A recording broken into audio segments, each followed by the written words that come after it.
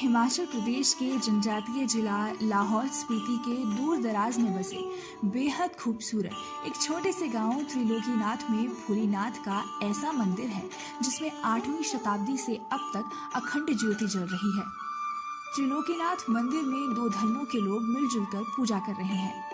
त्रिलोकीनाथ मंदिर की स्थापना आठवीं सदी में की गई थी। ये मंदिर मनुष्य के धर्मी और पापी होने का फैसला बड़े अनोखे अंदाज से करता है। हज़ारों की संख्या में श्रद्धालु यहाँ मनोकामना पूर्ण करने आते हैं। हिमालय की गोद में स्थापित इस दिलचस्प और प्राचीन धार्मिक स्थल को देखने के लिए मनाली से 160 किलोमीटर की दूरी पर स्थित, उदयपुर से करीब 12 किलोमीटर दूर पहाड़ी के छोर पर स्थित ऊँचे ऊँचे पहाड़ों से उफनती चंद्रभागा नदी के साथ से होकर गुजरने वाली सड़क से हम जा पहुँचे खूबसूरत त्रिलोकीनाथ। जहाँ भोलेनाथ का वो रूप विराजमान है, जिसके दर्शन सिर्फ़ यहीं मिलते हैं। यहाँ त्रिलोकीनाथ के शीर्ष पर गंगा नहीं, बल्कि बुद्ध भगवान विराजते हैं।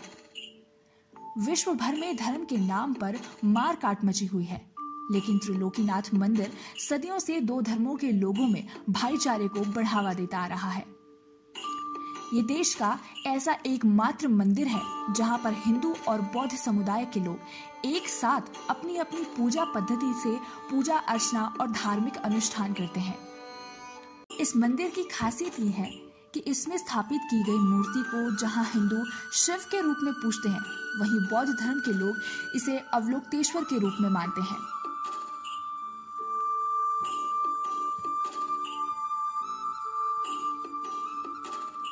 इस मंदिर की एक अन्य खास बात यह है कि इसके अंदरूनी मुख्य द्वार के दोनों छोर पर बने दो स्तंभ मनुष्य के पाप पुण्य का फैसला करते हैं।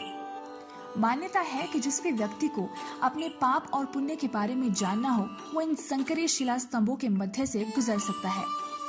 यदि मनुष्य ने पाप किया होगा तो भले ही वो दुबला पतला ही क्यों ना हो, वो इनके पार नहीं जा पाता।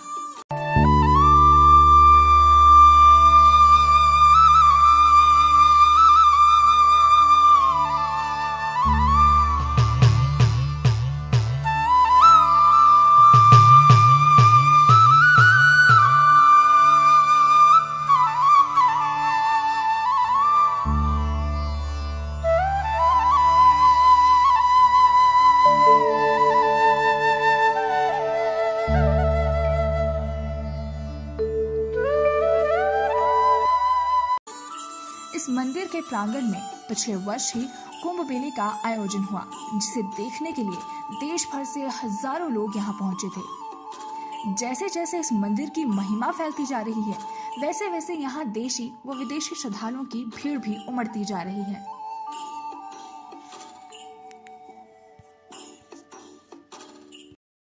हम तो अपनी यहाँ पे हिंदुज़म का भी पूजा होता है, बुद्धिज़्म दोनों का ही रोज़ सुबह शाम पाठ पूजा होता है, आरती होता है। हम उसको दोनों समान से एक एक ही आँखों से देखते हैं, समान देखते हैं और दोनों का यहाँ पे समान रिश्ता होता है जी।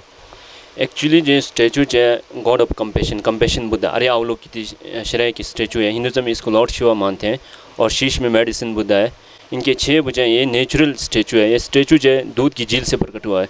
झील यहाँ से तीन घंटे पैदल सफ़र करना पड़ेगा, वहाँ पे बहुत बड़े दूध का झील है, वहाँ से प्रकट हुआ है जी ये। ये जब से मंदिर बना हुआ है, तभी से चला। ये मंदिर जो है एट सेंचुरी की आठवीं शताब्दी की है। वैसे इस बिहार का नाम है तेंदु बिहार। ये आठवीं शताब्दी की है, बनी हुई है जी जी। एक्चुअली ये पिलर्स दो दो पिलर्स हैं। ये जो पुण्य का पिलर और ये पाप की पिलर है। एक्चुअली लोग ऐसा, ऐसी मान्यता है कि यहाँ से क्रॉस करने से उनका जो पाप जो है कम हो जाता है। अगर दूसरे पाप पिलर से अगर गुजर नहीं पाएँगे तो वो कहते हैं कि उनका पाप जो है बहुत ज़्यादा बढ़ जाता है। अभी, वैसे भी, अभी अभी आप यहाँ से क्रॉस हुए फिर आपको कैसा फीलिंग हुआ जी यहाँ पर बिल्कुल, मैंने तो दोनों ही पिलर को क्रॉस कर लिया और मुझे बड़ा मतलब आसानी से क्रॉस किया। तो इसका क्या मतलब? अब इसलिए आपने आसानी से क्रॉस किया तो फिर एक, आप एक सच्चे वक्त है, आसानी से आप क्रॉस कर पाएँगे। अगर वैसे कहीं पतले भी होते हैं, वो भी यहाँ आसानी से क्रॉस नहीं कर पाते हैं। सर्दियों में महल यहाँ पर लेके आए थे तिलोकीनाथ जी के जो राजा थे। तो उन्होंने एट्थ सेंचुरी में तिलोकीनाथ जी के इस मंदिर का निर्माण किया जी। ये तो पूरे ब्रह्मांड के जे- पूरे ब्रह्मांड मतलब इसको इनके दर्शन के लिए देश विदेश से मतलब अपने हर जगह कोने कोने से लोग आते हैं। भीड़ तो यहाँ पर जब से ये रोहतांग दर्रा खुल जाता है तब से, बाकी तो छः महीने के लिए तो बंदी रहता। ज़्यादातर फिर सावन के महीने में तो बहुत ही ज़्यादा सर्दियों के दौरान मतलब मौसम के ऊपर ही निर्भर कभी मतलब पंद्रह से सोलह फुट तक भी बर्फ़ पड़ जाती है, कभी ढाई तीन फुट तक रह जाती है बर्फ़।